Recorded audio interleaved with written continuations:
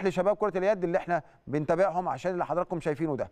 حضراتكم شايفينه آه، شباب مواليد 2002 وده أحد فرق المرتبط مرتبط 2002 و2004 فاز على الطيران بنتيجة 36 26 في الجولة التاسعة اللي اتلعبت لأن إحنا برضو هنلعب بكرة الجولة التاسعة في كرة اليد برضو الفريق الأول هم بيلعبوا برضو الجولة التاسعة.